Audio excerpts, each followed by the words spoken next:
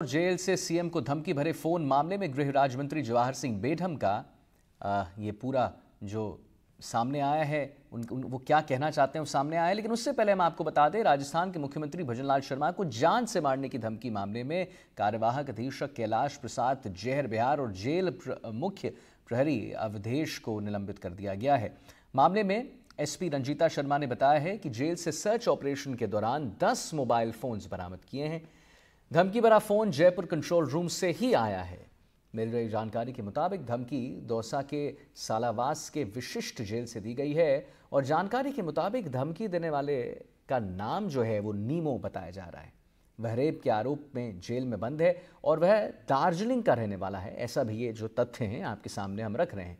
CM Bhajanlal Sharma को जान से मारने की धमकी देने वाले आरोपी नीमो से पुलिस पूछताछ कर रही है और पुलिस ने धमकी देने वाले फ़ोन को भी बरामद कर लिया है।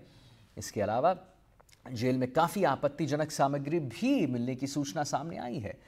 उधर Jaipur police commissioner Biju George Joseph के सुपरविजन में जाँच जारी है।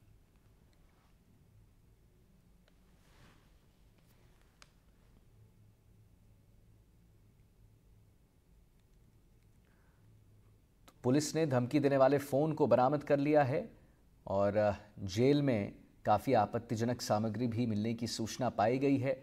जयपुर पुलिस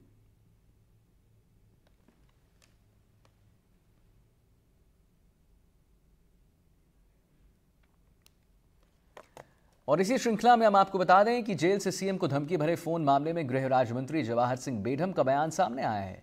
जवाहर सिंह बेढम ने माना है कि जेल सिस्टम को और बेहतर बनाने की आवश्यकता है।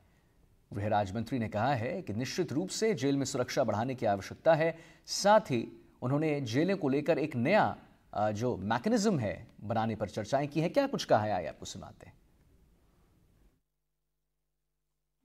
जेलों में सुरक्षा और बढ़ाने की आवश्यकता है। माननीय सीएम साहब और हम सभी एक नया मैकेनिज्म बनाने की चर्चा कर रहे हैं। जिस सिरफिरे ने जिस व्यक्ति ने फ़ोन से माननीय मुख्यमंत्री जी की आ, गोली से उड़ाने की बात कही थी